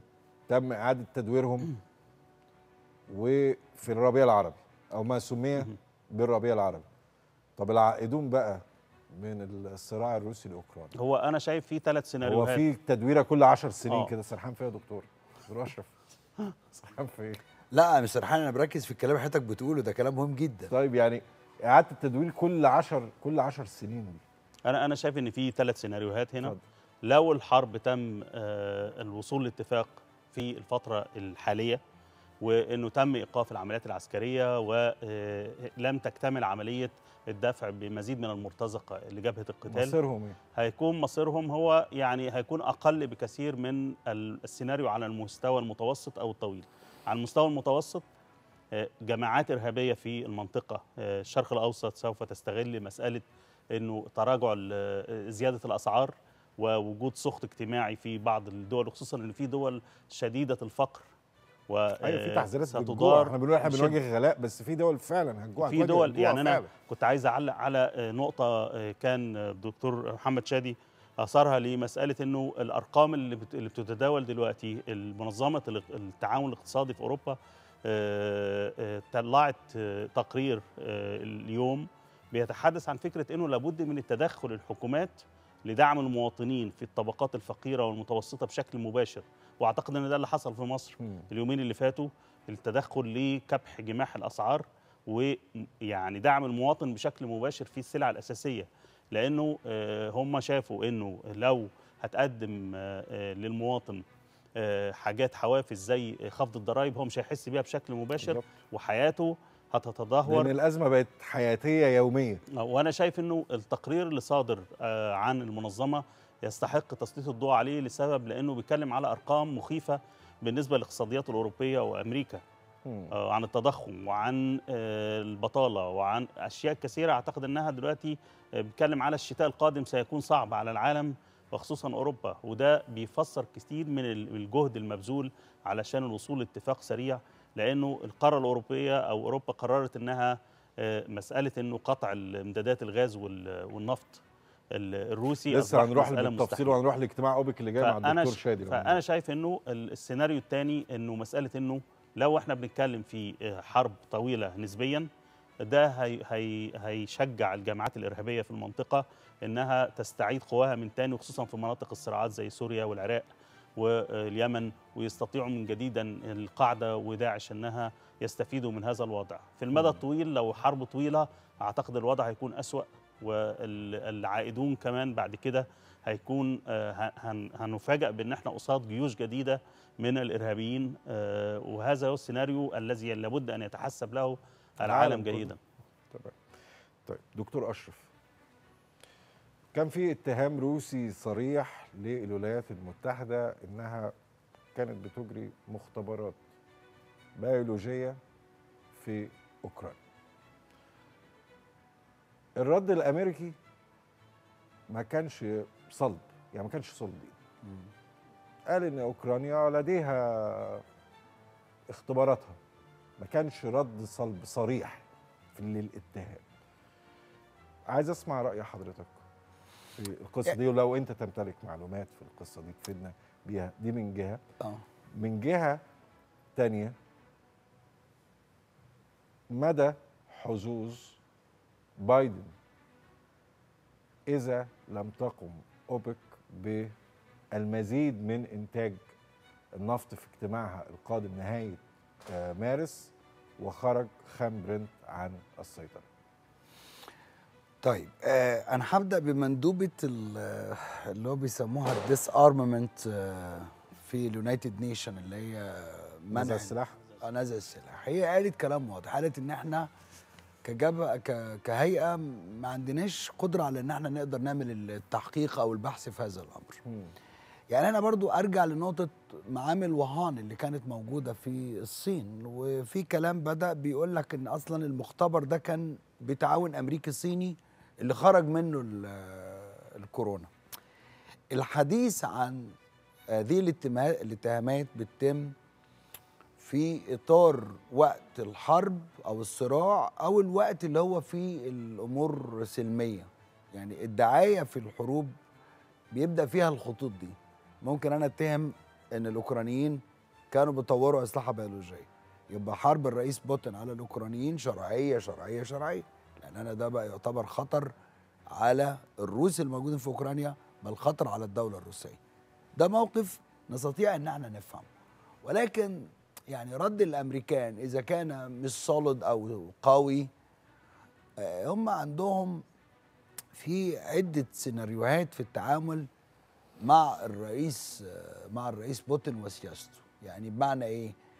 هم شايفين إن الرئيس بوتين يعني أنا في تصوري يعني من ضمن الحاجات المتوقعة يعني إن الرئيس بوتين سيغير قيادات كثيرة في وزارة الدفاع الروسية في الفترة الجاية دي. بال حضرتك إزاي؟ ليه بقى؟ الآلة الإعلامية عنده هو بدأ يحس بال يعني نيرفس بقى عصبي.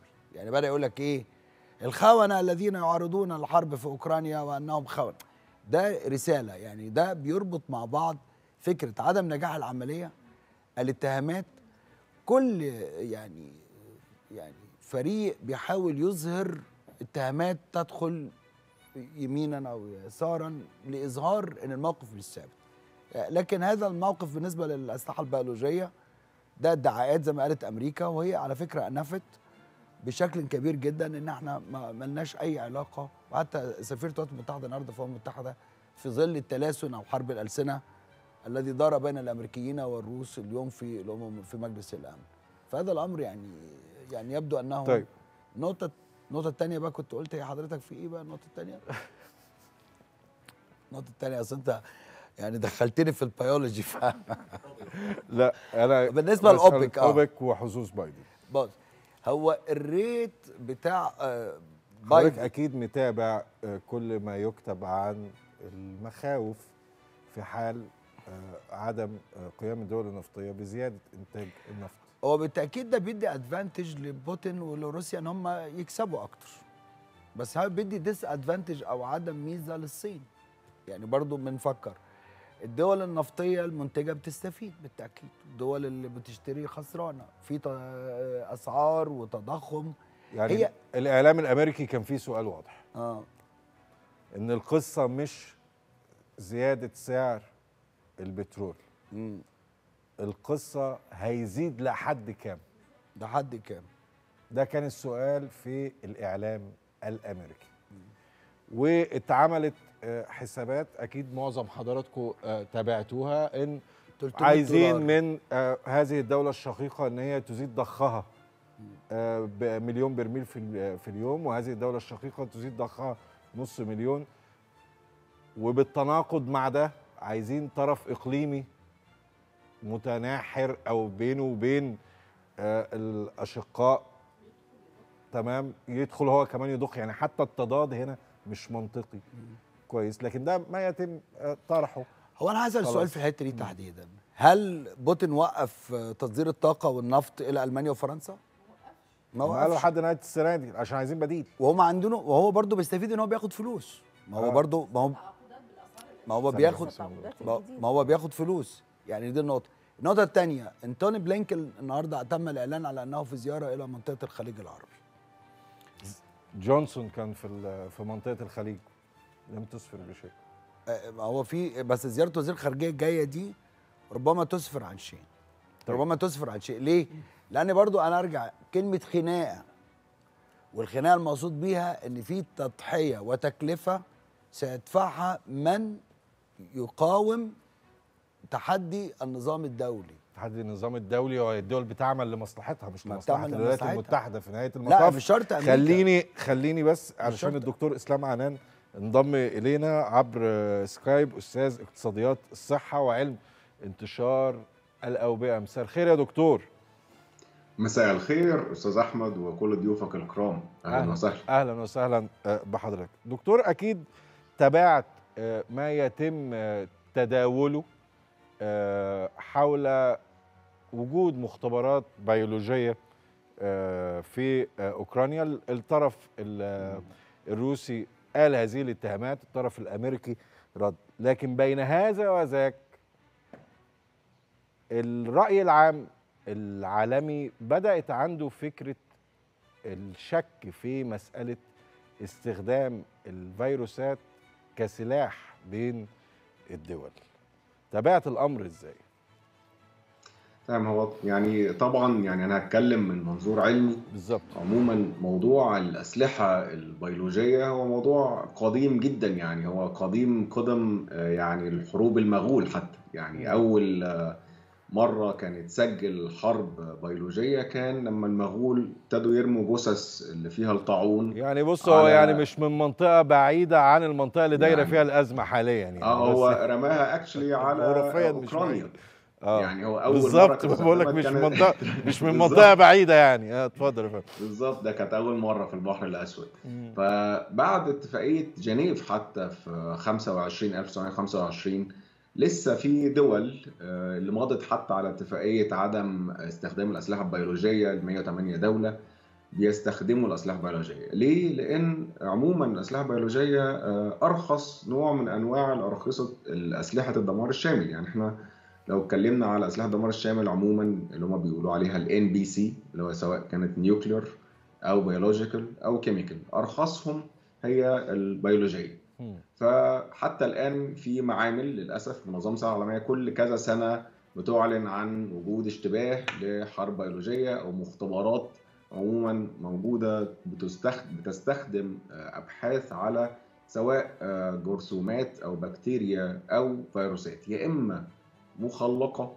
أو موجودة في الطبيعة وبيتم حفظها زي ما حصل مع الجدري آه، حتى الآن في عينات للجدري موجودة في معامل أمريكا وموجودة في معامل روسيا.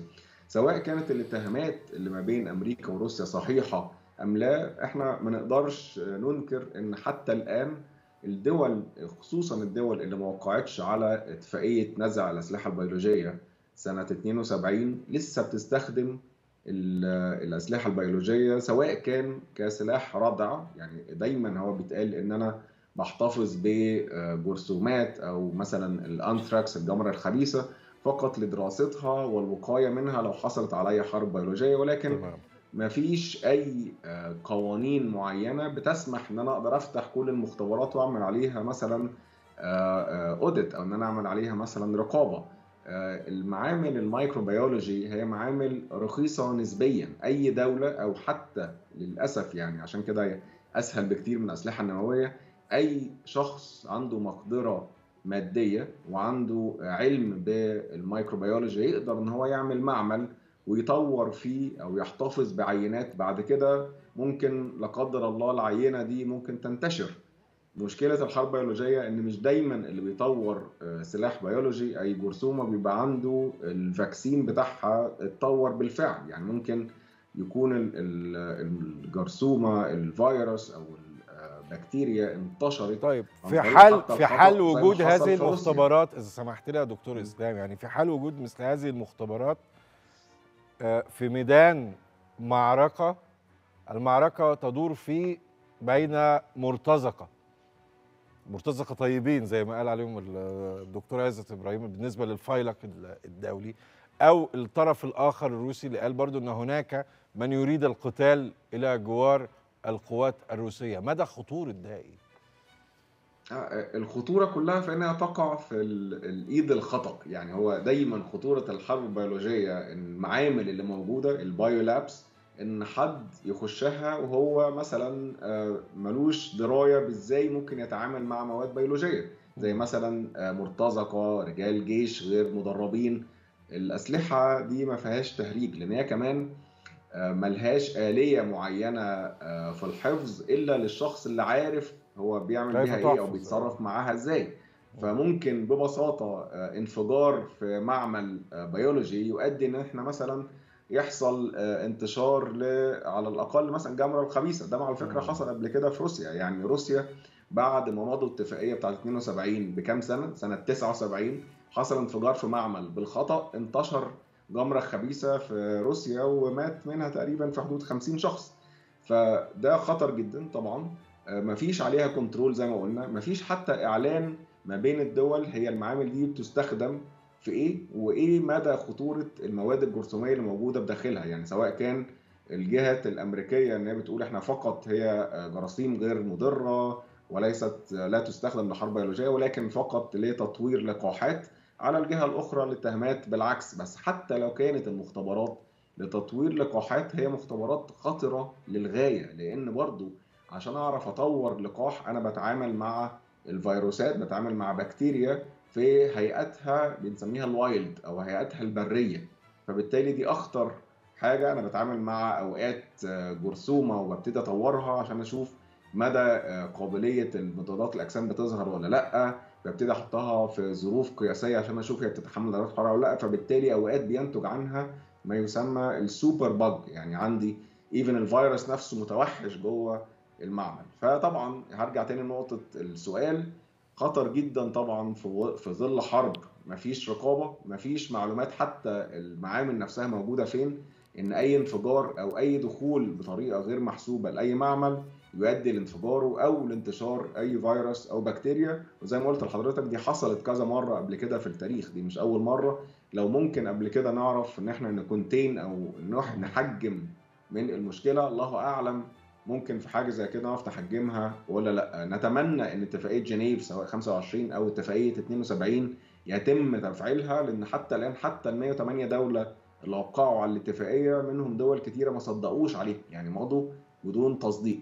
فبالتالي أمريكا روسيا دول اللي ما وقعتش. حتى الآن الصين طبعا حتى الآن بيستخدموا أسلحة بيولوجية سواء في البلاد اللي لم توقع على الاتفاقية أو بلاد أخرى بحجة تطوير اللقاحات. هل دكتور ده عنها الله أعلم. دكتور إسلام بشكر حضرتك شكرا جزيلا على آه، معلوماتك ال- القيمة وعلى مشاركتك لينا في النقاش. بشكر الدكتور إسلام عنان أستاذ اقتصاديات الصحة وعلم انتشار الأوبئة. عايز أرجع بالنقاش إلى الدكتور محمد شادي وبعده هروح للدكتوره مريان الشيخ. عايز أرجع على أوبك. آه، كل ال- العمل الدبلوماسي الأسبوع الماضي التركيز الأكبر على كيف سيتم تعويض النفط الروسي في حال استمرار العقوبات وجدية العقوبات والاستغناء عن ملايين البراميل التي تنتجها روسيا يوميا. كل العيون رايحة لاجتماع أوبك القادم نهاية مارس. طيب وجهة نظر حضرتك إحنا أمام سيناريوهين إما هيتم زيادة إنتاج النفط وفق ال- الرؤية الغربية الأمريكية أو إن أوبك أو الدول المنتجة للنفط هتقول مش هنزود إنتاج النفط بهذا المعدل. طيب تمام. أنا بس قبل قبل برضو ما, أروح بس عاوز أحط كام نقطة آه، يعني اتفضل. حاكمة كده. أول حاجة روسيا مش بتستفيد اطلاقا دلوقتي من رفع أسعار النفط لأن عندها عقوبات شديدة للغاية. ما هي قالت هتسدد بالربع أنا بس حضرتك إيه يعني دي أول الحاجة الأولى ليه ليه العقوبات طايله لقطاع النفط؟ بش قصدي ليه ما بتستفدش بال- بال- بالارتفاع بشكل كبير جدا؟ لأنه زي ما قلت لحضرتك ال- النفط الروسي نفسه ممنوع شراؤه خارج الاتحاد الأوروبي. شركة نقل النفط نفسها اللي هي اسمها سكوفو اس سي إف اس اس سي إف دي شركة نقل النفط الروسي. دي شركة شركة حا- حاويات حاملات بحرية عليها عقوبات. وبالتالي الحكومة الروسية بتعمل أسعار يعني عروض أسعار زي زي, الأوكازيون كده على النفط الروسي. لدرجة إن برميل النفط الروسي وأنا بكلم حضرتك دلوقتي بيتباع ب 80 دولار في ظل الارتفاع اللي حصل ده. دي أول حاجة. الحاجة الثانية آه، آه، إنه في بعض منتج أهم منتجي النفط وأنا بكلم حضرتك دلوقتي خارج إطار السوق العالمي منهم فنزويلا وإيران بسبب برضو العقوبات. لازم نحط الاثنين دول معانا وإحنا بنتكلم على التحليل. ثالث حاجة إنه أهم منتجي النفط في العالم اللي هي دول الخليج وأوبك نفسها عندها مشكلة ضخمة للغاية في يعني خفض أسعار النفط دلوقتي لأن هم من سنة 2013 وفي آه، يعني تراجع لأسعار برميل النفط وال- والموازين التجارية ال ال ال ال بتاعت أوبك وبالذات دول الخليج عندها عجز شديد جدا خلال الفترة اللي فاتت دي. وبالتالي هم شايفين إن هو دلوقتي ده وقت التعويض. إيه المشكلة إذا كان إذا كان د- العالم است- استفاد بشكل كبير جدا الفترة اللي فاتت من انخفاض أسعار النفط وانخفاض الطلب على النفط بشكل كبير. فدلوقتي ده وقت الاستفادة. وعلشان كده في تعارض أنا إن إحنا في عالم في عالم يعني يسيطر عليه الفوضى بشكل كبير. كل طرف من الأطراف بيحاول تحالفات وقتية. بس كده كل طرف من الأطراف بيحاول يعظم مصلحته. عشان كده أنا بقول يعني لحضرتك هي ما إيه؟ ترتقيش حتى للتحالفات هي ع- يعني يعني يعني الدكتور أشرف كان بيتكلم على زيارة بوريس جونسون للسعودية. عارف حضرتك مين اللي كان بيستقبل بوريس جونسون؟ ده رئيس وزراء بريطانيا. كان بيستقبله نايب يعني آه، بغض النظر لا لا، كل حد وليه لا ترتيباته أنا قصدي أقول إيه؟ أنا قصدي يا فندم لا لا أنا قصدي أنا قصدي أقول إيه ما هو ده اقتصاد يا فندم. يا فندم ده. اقتصاد سياسي. حضرتك بس اسمعني ده ده ده إيه؟ ده معناه إيه يا فندم. حضرتك ده, أنا ده معناه بتكلم إيه؟ في أرقام يا فندم. أنا ما أنا بقول لحضرتك ده ده تعبير يا فندم. ده معناه إيه؟ كل بلد ليها حقها تصيغ البروتوكول كما تريد. زي ما تحب. ما أنا بقول لحضرتك بس ده معناه إيه؟ ده. معناه إيه يا فندم ده معناه إيه؟ ده معناه إنه أنا مش يعني يعني مش هخضع للطلبات دي مش ه... م... م... في مصلحة عليا للوطن هنا دي لازم الرساله اللي. وصلت لحضرتك. آه دي الرساله اللي وصلت بسأل لي. حضرتك بشكل آه. واضح. هل أوبك من وجهة نظرك هتستجيب للمطلب الأمريكي الغربي بزيادة إنتاج النفط في اجتماع 31 مارس؟ لا هو إحنا ممكن نشوف استفادة جزئية يعني قصدي؟ قصدي قصدي جبهة جزئية. يعني إيه؟ يعني ممكن بدل بدل ما نشهد رفع للبترول إلى مستويات ال- ال- القمة يعني عند الدول عند الدول المنتجة للنفط نشهد زيادة محدودة. يعني مثلا نشهد زيادة في الموضوع كل كل ال كل ال ال الارتفاع اللي نشهده نشهد زيادة ب 600000 أو 700000 أو في أقصى حاجة مليون برميل يوميا من التحالف كله.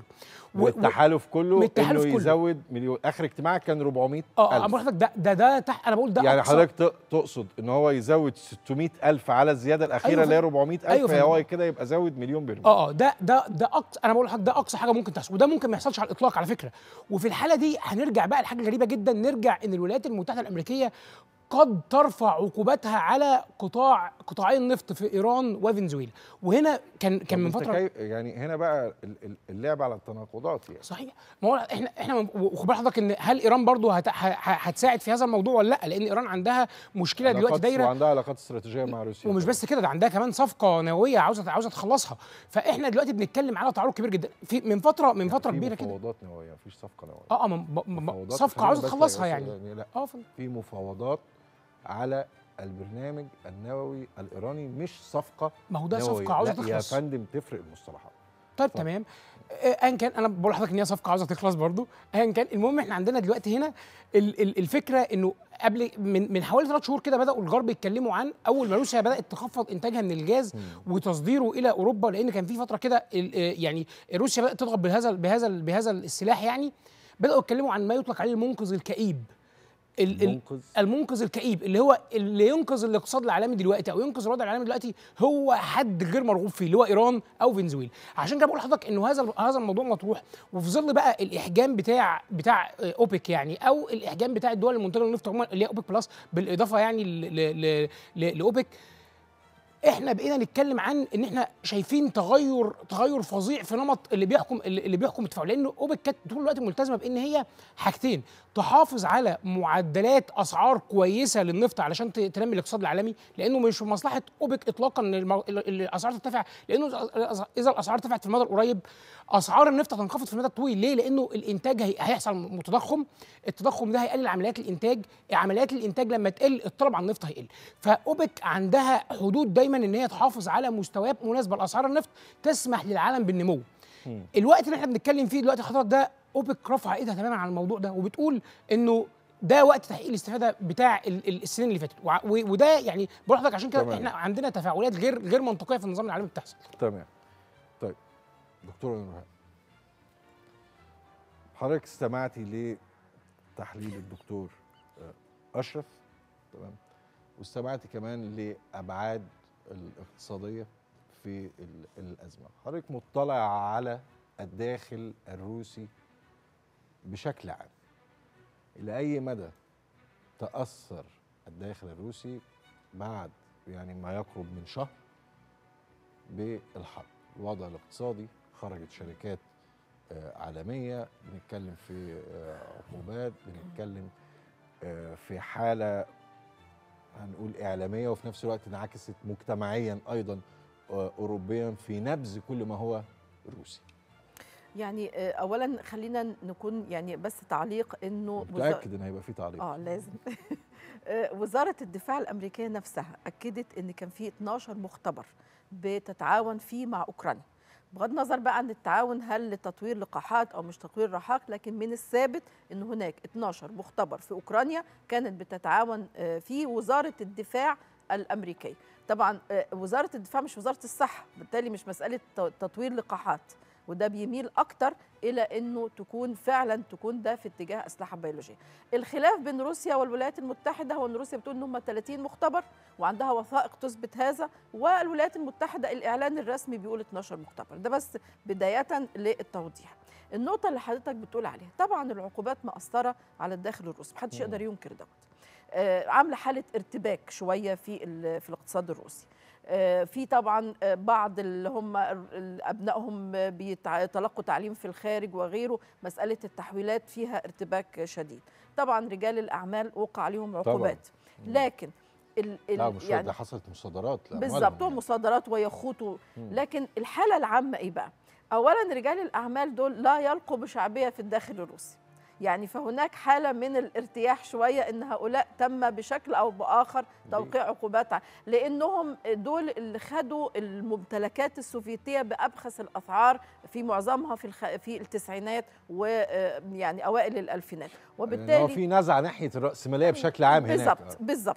الحاجة الثانية إنه آه، المسألة زي ما قلت لحضرتك مسألة قومية وطنية قومية. الحاجة الثالثه والأهم إن الحقيقة السيد ميسوتشن وزير رئيس الوزراء عرض خطة مهمة جدا لإحتواء تداعيات الأزمة بحيث إن الصدمات كلها يتلقاها الاقتصاد الكلي ولا يشعر بها المواطن الروسي. والخطة دي أعتقد إنها نجحت إلى حد آه، كبير. وفي استبدال بقى يعني البطاقات اللي كانت فيزا وغيره آه، يعني دلوقتي حاليا بيتم إصدار البطاقات حسب اليونيون بي اللي هو ال- الصيني آه، وده المفروض معمول بيه في حوالي 180 دولة. عايزه أقول لحضرتك كمان إن مش كل ال- البنوك الروسية آه، موقع عليها عقوبات. يعني في سبير بانك مثلا وده أكبر المفروض يعني أكبر بنك وأهم بنك في روسيا آه، اللي هم ما وقعش عليه آه، آه، عقوبات. وبالتالي في مساحة للتعامل حتى مع الغرب لأنه التحويلات بتاعه النفط والغاز الأوروبي بتيجي للبنوك اللي هي لم يتم توقيع العقوبات آه، عليها. ففي مساحة. والحقيقة وزير المالية كان عرض برضو خطة مهمة جدا عن إزاي التعامل مع الموقف وزي ما قلت حضرتك تلقي الصدمات. روسيا لما وقفت الطيران في 8 مارس جزء من ده آه، مش بس أسباب أمنية زي ما كان بي- بيقال لكن عشان فكرة إن ما يبقاش في ضخ للعملات الصعبة من الداخل الروسي للخارج. ودي نقطة مهمة جدا. آه، يعني على سبيل المثال تركيا التضخم اللي حضرتك آه، أشرت إليه ما هو ده حوالي في 55% ده جزء منه ليه؟ لأن بيروح لتركيا كل سنة من 4 ل 5 مليون روسي كسياح. وإحنا داخلين بقى على ال season يعني إحنا مارس ده بقى داخلين على ال- ال season. فالتعاقدات طبعا واقفة والطيران واقف وده بيحرم تركيا من دخل مهم جدا جدا آه، بالنسبة لها. يعني في إجراءات كثيرة الحقيقة اتخذتها الحكومة الروسية وأنا أعتقد أن هذه الإجراءات ناجحة. مثلا منعوا يعني تصدير يعني كنت بقول السكر لحضرتك أنت مطلع على ال- الوضع الداخلي في روسيا. يعني كان السؤال اللي فات ده كان يقول إيه؟ نافذة على ال- الداخل ال- على الداخل. الروسي. خلينا نروح للدكتور. فايز آه، فرحات. العملة الصينية بدأ يتم الحديث حولها في هذا الاشتباك. بدأ ناس تتكلم على ربط معاملات بالعملة الصينية. كنا كتير بنسمع هذا الكلام من فترة للتانية يمكن في آخر عشر سنين. صحيح. مدى جدية الأمر من وجهة نظر حضرتك؟ هو دي طبعا ليست الحادثة الأولى أو ليست بالظبط. المناسبة الأولى اللي يتم فيها الحديث عن اليوان باعتباره عملة دولية أو أداة لتسوية المعاملات الدولية. أولا الصندوق النقد الدولي اعترف أو ضم يعني اليوان إلى سلة العملات ال- الدولية وبالتالي في جزء من الدول بتحتفظ ب آه، جزء من. احتياطاتها بال- باليوان آه، فده كان مؤشر مهم جدا لتحول أو خطوة مهمة لتحول اليوان إلى عملة دولية لكن الصين لم تكتفي بهذه الخطوة أنا آه، آسف بدأت- حضرتك بس هو الدكتور اتفضل. شادي كان اشار لحاجه في الجولة الأولى من النقاش في مسألة رفع سعر الفايدة الأمريكية, الأمريكية. وكشف عن نوايا. لست آه، مرات قادمة إن هذه ليست المره الاولى وإن لسه في ست. مرات قادمة قادمة، سيتم. فيها رفع سعر مم. الفايدة ما هو ده أيضا يعني يؤثر بالسلب على ال- العملة الصينية هو هيسحب جزء طبعا من حركة الأموال الدولية بالظبط للسوق الأمريكي بالدولار طبعا لكن لكن إحنا بنتكلم على عملية تحول آه، مستقرة في النظام الاقتصادي العالمي أو في ال- الأسواق المالية. وبالتالي آه، هذا الإجراء الأمريكي آه، مش معناه إنه هينهي عملية تدويل اليوان لأنه في إجراءات كتيرة جدا الصين بتعتمد عليها في عملية ال- التدويل. منها الخطوة اللي كانت أساسية اللي هي خطوة صندوق النقد الدولي لكن تبع ده خطوات أخرى في اتفاقيات ثنائية بتعملها الصين مع عدد من الدول. لتسويه المعاملات الثنائية باليوان يعني مثلا ده تم مع المملكة العربية السعودية تم مع دول أخرى في اتفاق أيضا مع إيران على تسوية في الفترة اللي فيها العقوبات المفروضه على قطاع النفط الإيراني واللي كانت موجودة آه، قبل الانسحاب الأمريكي من من الاتفاق كان جزء من المعاملات اللي بتتم أو في اتفاقيات اتفاق ثنائي بين الصين وإيران إنه يتم تسوية المعاملات الثنائية بالعملات المحلية أو الدفع باليوان. فبالتالي ده معناه إنه بيخلق طلب دولي أو جزء من الطلب الدولي على ال ال اليوان. لكن بالإضافة لده بقى في كمان مؤسسة مالية مهمة جدا اسمها البنك ال- الآسيوي للاستثمار في البنية التحتية أيضا بيعترف باليوان باعتباره آلية لتسوية ال- المعاملات. الأهم هو حجم المعاملات الاقتصادية الضخمة ما بين عدد كبير من الاقتصادات الدولية وبين الصين. جزء منها بي بي بيشرعن الاقتصاد الصيني كجزء من عم- ال- ال- حاله العولمة القائمة وجزء من هذه المعاملات أيضا بيتم باليوان فبالتالي آه، الحديث عن تدويل اليوان الآن ليس وليد هذه الأزمة لكن هي عملية بتتم مدى جديته في هذه الأزمة آه، جديته في هذه الأزمة طبعا وارد إن هو يبقى جزء وده أحد ال- السياسات الصينية أيضا إنها بتستغل الأزمات إلى انت تحقيق تستغل هذه الأزمة. بأن اليوان يفرض طبعا ال ال. هذه الأزمة ال الصين تتعامل معها باعتبارها أزمة يعني آم، كاشفة. ت- ك- كاشفة ولكن تنطوي أيضا على مكاسب كثيرة جدا. والأهم أيضا إن الصين تحقق كل هذه المكاسب بدون تكاليف ضخمة.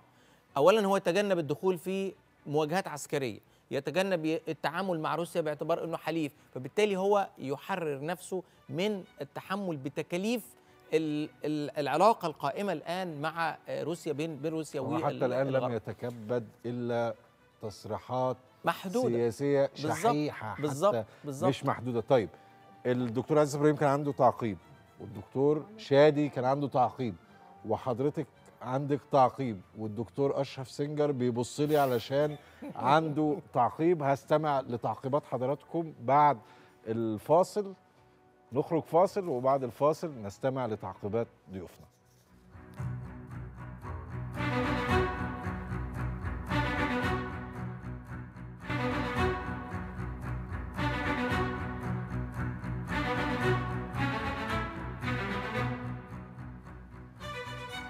أهلا بحضراتكم من جديد وخلاص آخر جولة للنقاش.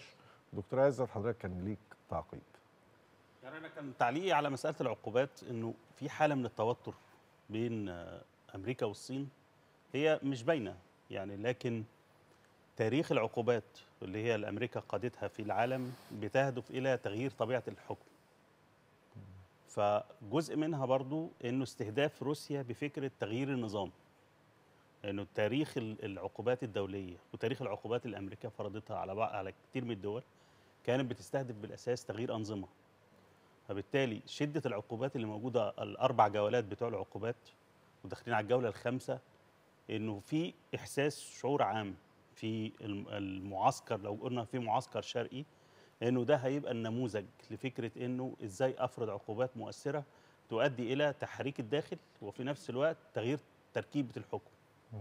فهم مدركين كويس قوي إنه الأمريكا في جزء كبير من العقوبات المفروضة بتستهدف ده. تحريك نخب اقتصادية ومالية كبيرة في روسيا. تحريك ممكن بعض الأطراف داخل المؤسسات الكبيرة زي الجيش.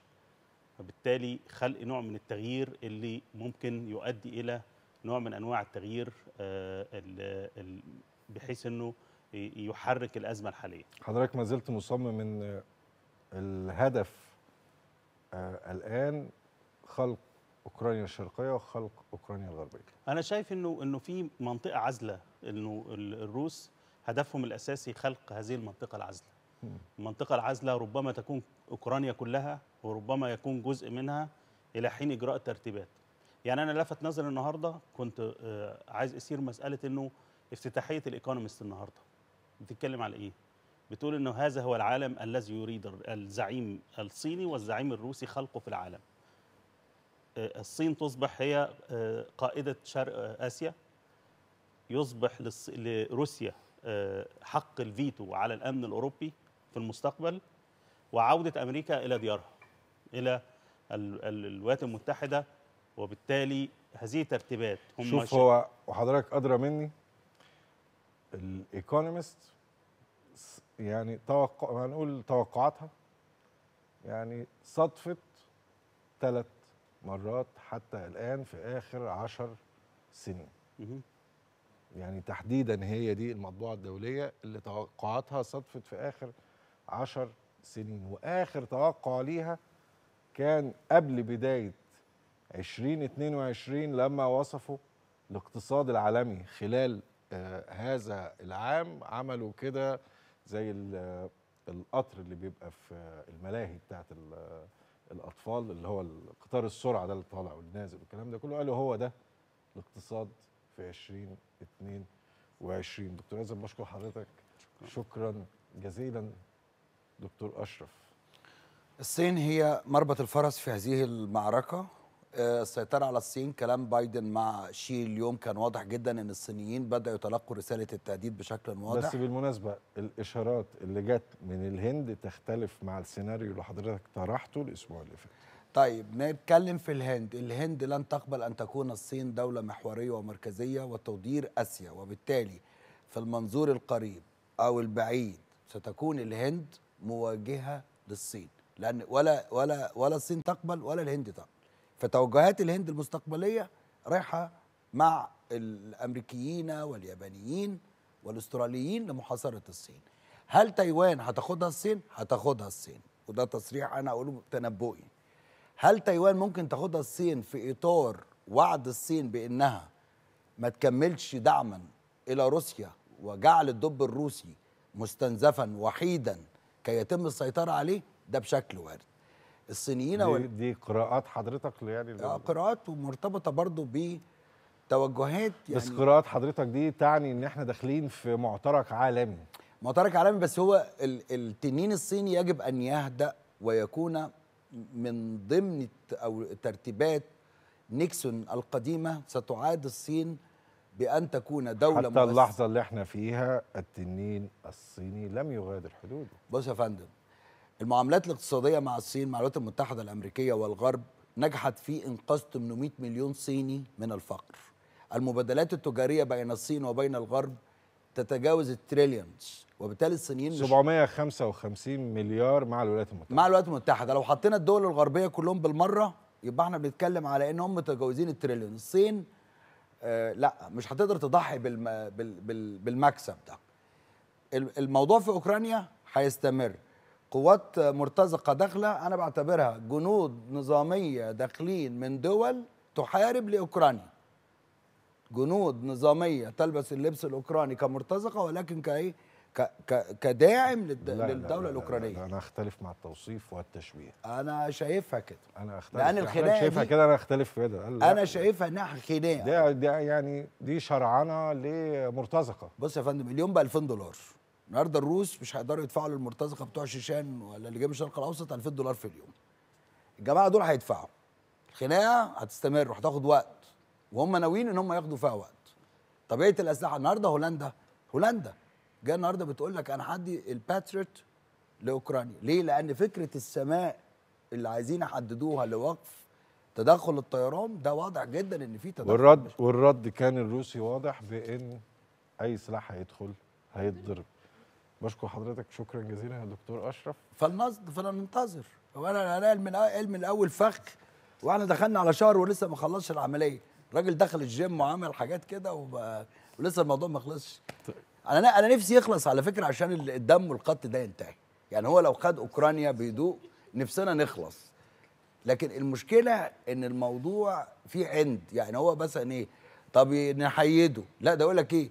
لازم يعترف الموضوع ما الموضوع اللغة الروسية. يا- تخيل اللغة الروسية تتدخل في في, يا- في يا الموضوع. دكتور أشرف الموضوع ليس بهذه السهولة وليس حتى لا. مسألة خناقة أو آه، ما. مش هيسيبوهم. إحنا أمام حالة تشنج ما بين أقطاب النظام العالمي. ما هو وضع بوتين في خندق يا أحمد بيه ممكن يصل إلى إن هو يستخدم السلاح النووي. وده على فكرة تقييم الأطلنطي أو المؤسسات يبقى هنا. الخطأ على من وضعه في الخندق. ما هم بيحاولوا بي- بيدوا له بقى شوية آه، مسافات. افتح شوية بترول بيع. عشان روسيا ما تموتش يعني. آه، مش عايزين نخنق المع... آه، الر- الرئيس بوتين تمام. دكتور. لا يعني أصل الكلام اللي الحقيقة دكتور أشرف لكن عايزة أقول حاجات بشكل. سريع.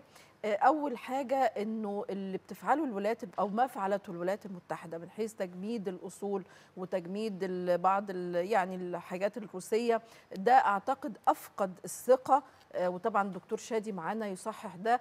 يعني فكرة مصداقية الولايات المتحدة كجاذب للاست- للاستثمار. مصداقية ال- الفكر الرأسمالي يعني أو الثوابت. الرأسمالية يعني؟ للولايات المتحدة شخص يعني في حد ذاتها هل هي وجهة هتبقى آمنة للاستثمار؟ يعني الصين أو غيرها هل هتبقى هتقبل على الاستثمار في دولة وهي تتوقع أنه من الممكن في أي لحظة أن توقع عليها عقوبات مماثلة؟ ال- الحاجة الثانية إن الصين ال- أنا من وجهة نظري إنها حريصة على أن تبقى روسيا. ليه؟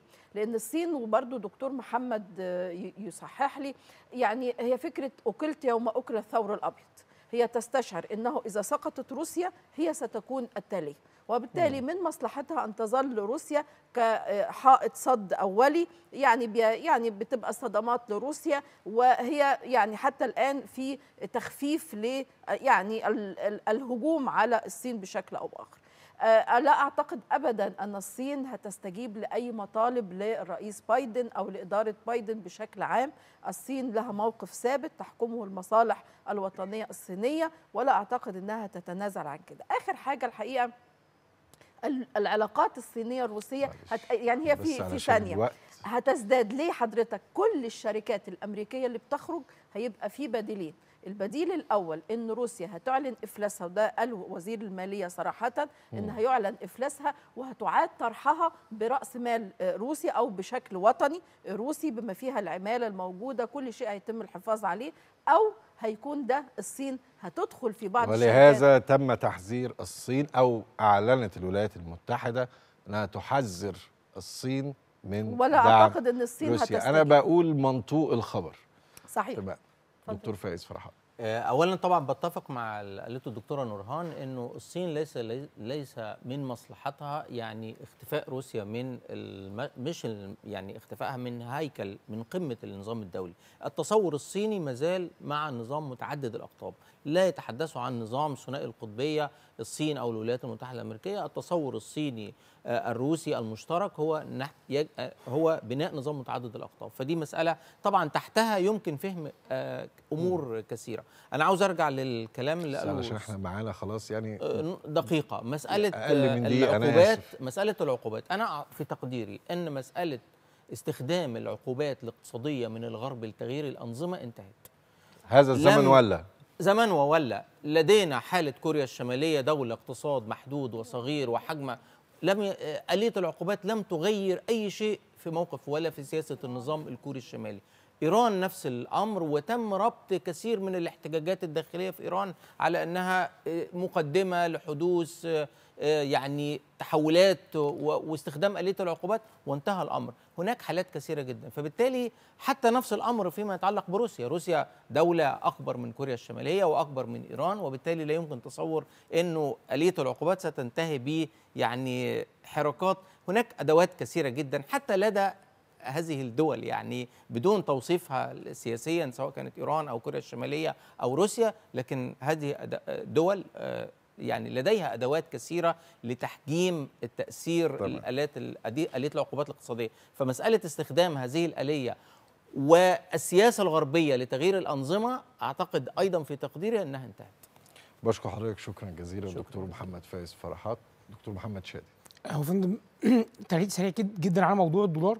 الدولار يعني إحنا بنشهد يعني بنشهد دلوقتي آه، وقت افوله بس مش مش في الخمس سنين ولا عشر سنين لا بنتكلم على 50 سنة اللي جايين. قد نشهد تحول لدور الدولار تماما وصعود لليوان وده لأسباب متعددة جدا منها إن ال- ال- التجارة السلعية في العالم بقت مايلة لكافة الصين. 14% لصالح الصين من التجارة السلعية 8 في 9% بس لصالح الولايات المتحدة الأمريكية. مش بس كده ال- ال- ال- الكثافة أو الأبيوز بتاع استخدام العقوبات الأمريكية زي ما الدكتوره قالت بيخلي فيه خوف من طول الوقت من أداة الدولار. تاني حاجة تالت حاجة إن هو بقى في اتجاه واسع عند عدد كبير جدا من الدول إن هي تعقد اتفاقيات زي ما الدكتور محمد قال للتبادل التجاري بالعملات بالعملات المحلية وبالذات مع الصين. بس حضرتك بتتكلم في 50 سنة قادمة. تقديرات دولية كثيرة. يعني حول هذه الأزمة تقول أن هناك نظام عالمي يتم رسمه الآن تنتهي تفاعلاته بحلول 2030 لا ده صعب جدا على فكرة صعب للغاية إن إحنا نشوف إيه- يعني افول لدول الدولار وصعود لليوان. إحنا نشهد هنبقى شاهدين بداية تراجع المعركة؟ تراجع تراجع للدولار. واخر حاجة عاوز أقول لحضرتك إنه في عندنا يعني يعني اتجاه ضخم جدا ليه إنه ترا- تراجع دور الطاقة ال- الطاقة اللي جاية من مصادر من مصادر الاحفوريه اللي مربوطة بالدولار وبالتالي عندنا الطاقة المتجددة اللي بتنتج محليا وبتصدر محليا فده هيخلي فيه تبادل للطاقة بالعملات المحلية. وبالتالي زي ما لحضرتك كده إن إحنا عندنا نوع من أنواع التراجع للدولار لكن مش انسحابه من النظام العالمي مش. انسحابه ولا. سيطرة ولا لسه- سيطرة لسه. لليوان في تراجع وده يعني أشد يعني رقم ممكن يتقال فيه إنه كان 72% من الاقتصادات بتاعت دول العالم في سنة 2000 موجودة بالدولار وأنا بكلم حضرتك النهارده إحنا عندنا 59% من هذه الاحتياطات بالدولار الباقي النسبة اللي فقدت دي اللي هي حوالي 10 11% كلها راحة للثلاث الثلاث دول الكبار اليوان والين واليورو خلص وقتنا بشكر حضراتكم شكرا جزيلا. بشكر حضراتكم على طيب المتابعة. خلصت حلقتنا. نشوفكم الأسبوع اللي جاي وحلقة جديدة من كلام في السياسة.